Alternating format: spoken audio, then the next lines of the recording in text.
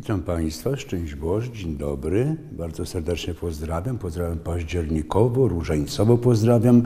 Pozdrawiam też jesiennie, bo jest właśnie taka pora roku, bardzo cudowna pora roku, zresztą to widzimy, ale nade wszystko, drodzy Państwo, drodzy telewidzowie, pozdrawiam papiesko. Proszę bardzo, jestem pod figurą e, czy pod postacią świętego Jana Pawła II. Dlaczego? Dlatego, że właśnie dzisiejsza niedziela, tak zwana niedziela papieska, o czym za chwilę w każdym razie jest 13 dzień października, jest 28 niedziela zwykła, a 13 dzień października, czy w ogóle 13 w kalendarzu, w kalendarzu tym kościelnym kojarzy nam się z Fatimą, z objawieniami fatimskie.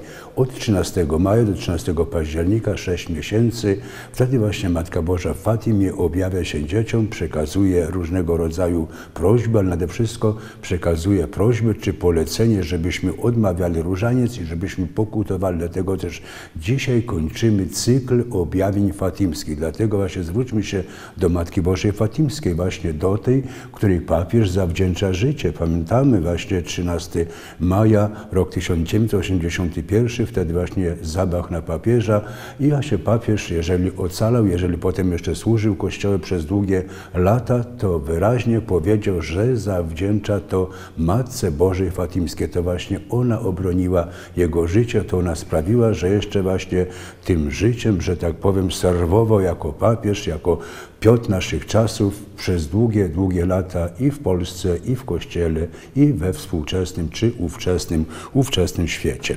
Poza tym też, proszę Państwa, dzisiejszy dzień, jak powiedziałem, to dzień papieski. Dlaczego?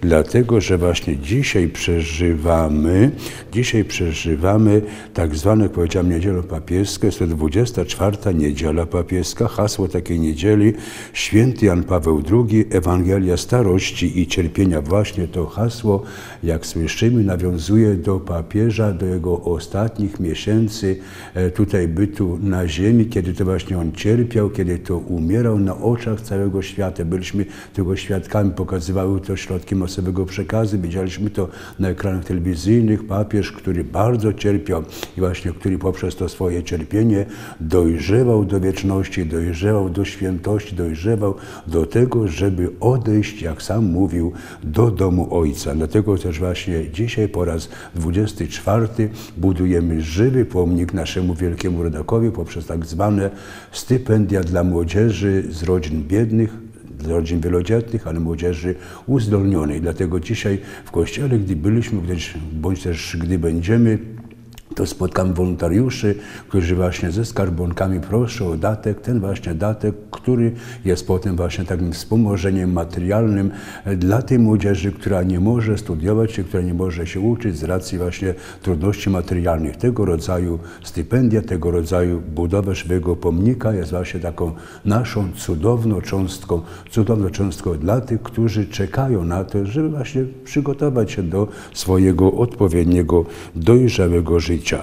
Święty Jan Paweł II, Ewangelia starości i cierpienia. Poza tym, proszę Państwa, warto zauważyć, że jutro jest 14 dzień października, to Dzień Edukacji Narodowej, czyli popularny Dzień Nauczyciela. Wszystkim nauczycielom składamy najlepsze życzenia, pozdrawiamy, żeby Matka Najświętsza, Stolica Mądrości, żeby Chrystus, dobry nauczyciel, najlepszy nauczyciel był nie tylko dla Was wzorem, niedościgłym wzorem, ale że był tym właśnie wspomożeniem, tym wspomożeniem i tym błogosławieństwem, którego bardzo, bardzo potrzebujecie. Idziemy dalej. To takie informacje, prawda? 15 e, dzień października to dzień utraconego dziecka. No oczywiście środa, 16 października to dzień wyboru kardynała Wojtyły na papieża. Data 16 października, rok pański 1978. Wtedy usłyszeliśmy, że właśnie papieżem został Polak konkretnie kardynał Wojtyła, arcybiskup, arcybiskup Krakowa. Idziemy dalej. Mamy następny, proszę Państwa, 18 dzień października. Jest to wspomnienie świętego Łukasza, ewangelisty.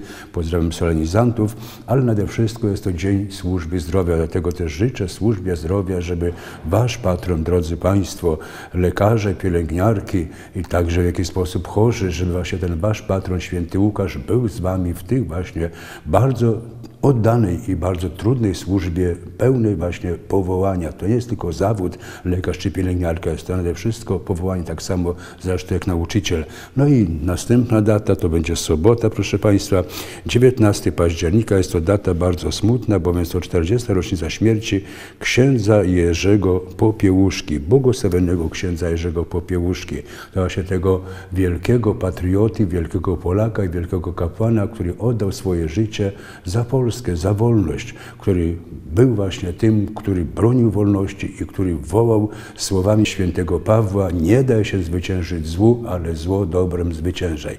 Zechciemy właśnie w takim dniu pomodlić się do księdza Jerzego o to, żeby on patronował współczesnej naszej ojczyźnie, żeby patronował temu wszystkiemu, co tę naszą ojczyznę e, stanowi i też modlmy się o to, żeby on został wyniesiony w swoim czasie na ołtarze, niż nie tylko jako błogosławiony, ale jako święty ksiądz Jerzy, ksiądz Jerzy Popiełuszko. Proszę Państwa, to były takie ogłoszenia, więc myślę, że, że te ogłoszenia e, przyjęliśmy z nadzieją, że w ten sposób zostaliśmy troszeczkę, że tak powiem, uświadomieni w tej materii. Ewangelia na ten dzień dzisiejszy, czy na dzisiejszą niedzielę, 28 niedzielę, jeszcze raz powtarzam, zwykle jest następująca. Gdy Jezus wybierał się w drogę, przybiegł pewien człowiek, upatrzy przed nim na kolana, zaczął go pytać, nauczycielu dobry, co mam czynić, aby osiągnąć życie wieczne.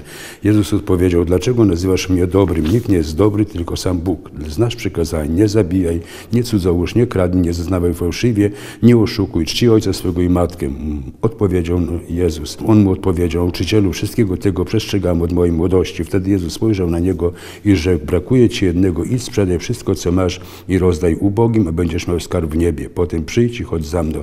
Lecz on spochmurniał te słowa i oczy zasmucony, miał bowiem posiadłości, posiadłości wiele. Kochani, no właśnie Chrystus dzisiaj w tym fragmencie Ewangelii uczy nas takiej pokory, takiego dystansu do dóbr doczesnych. Właśnie my chcemy być dobrzy, my chcemy chcemy być zbawieni, ale chcemy też coś na tym świecie znaczyć, chcemy coś na tym świecie posiadać. Właśnie to posiadanie, dzisiejsza Ewangelia nas uczy, żeby to posiadanie nie było naszą panią, żebyśmy nie byli własnością doczesnych, ale żebyśmy te dobra doczesne traktowali jako dobra nasze, żebyśmy my byli panami i paniami tego wszystkiego, co nazywa się właśnie tym dobrym doczesnym, co nazywa się właśnie tą materią, czy tymi sprawami, które stanowią naszą kochaną codzienność. Poza tym też pamiętajmy o powodzianach, modlimy się w ich intencji, pamiętajmy też o tych, którzy tam właśnie pracują, o lekarzach, tak, tam są też lekarze, pamiętajmy o żołnierzach, o wojsku,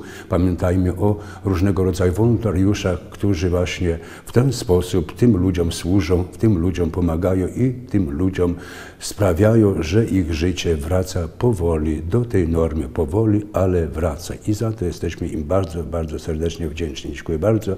Serdecznie pozdrawiam wszystkiego najlepszego na nowy, październikowy, różańcowy tydzień. Zostańcie z Bogiem.